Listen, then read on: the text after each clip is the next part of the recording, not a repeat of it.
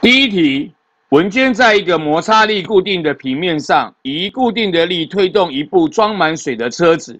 若车子的水逐渐流失，则车子的加速度有何变化？我们根据牛顿第二定律的公式，F 等于 ma。我们知道，如果我们的力量是固定一样的，当我们的质量渐渐变小的时候，我们的加速度应该是要变大。所以第一题问我们说，则车子的加速度有何改变？我们答案选的是 A，变大。